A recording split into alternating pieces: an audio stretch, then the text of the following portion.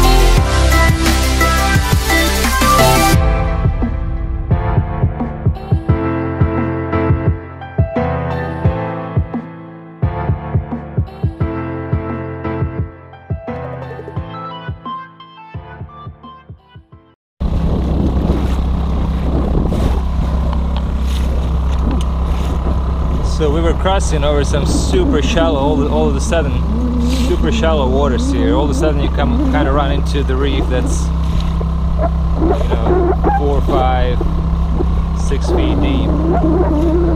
And uh, rocky, which is kind of cool.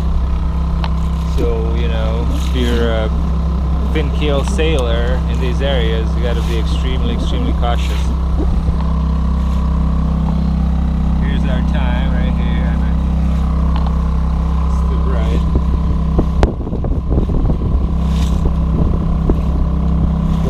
Four point seven miles an hour.